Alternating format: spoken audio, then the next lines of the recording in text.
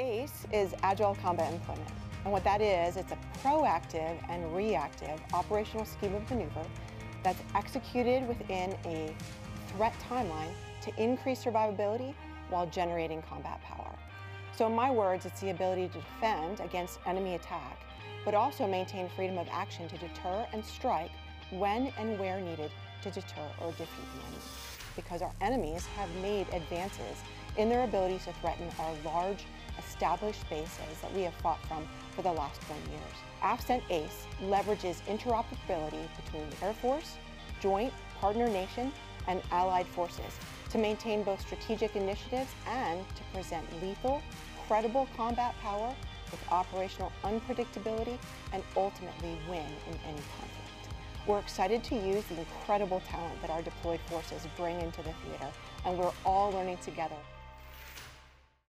So what we're doing is we're working with our partner nations and developing locations that are both resilient and defendable and create flexibility for ourselves and our allies.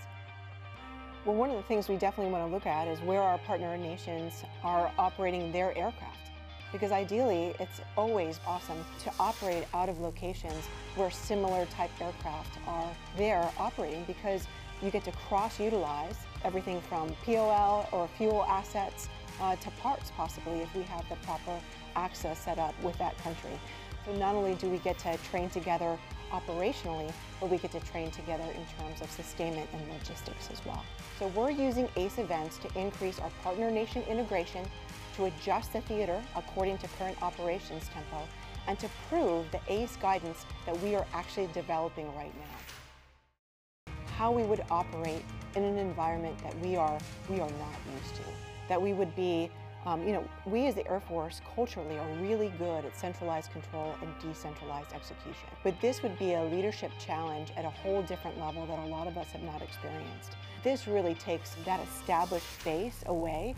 So it's, it's a mindset change in terms of protecting yourself, protecting your airmen, generating combat power um, while staying flexible and also, by the way, if comms are cut or you know go up and down or unsustainable, you know what your mission is and what, what you need to execute.